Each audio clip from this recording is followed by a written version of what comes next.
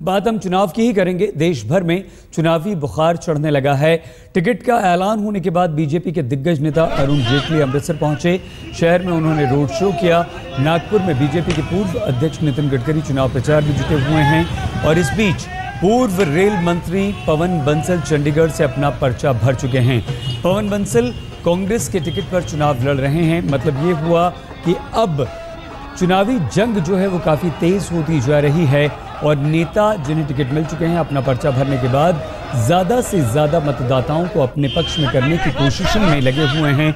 चुनाव प्रचार उन्होंने शुरू कर दिया है, रोड शो हो रहे हैं और तमाम ये दिग्गज, तीन दिग्गज यहाँ पर हैं जो अपना अपना चुनाव प्रचार कर रहे हैं। अरुण जेटली पहली बार लोकसभा का चुनाव लड़ेंगे, अभी तक वो राज्यसभा से संसद में पहुँचते रहे हैं।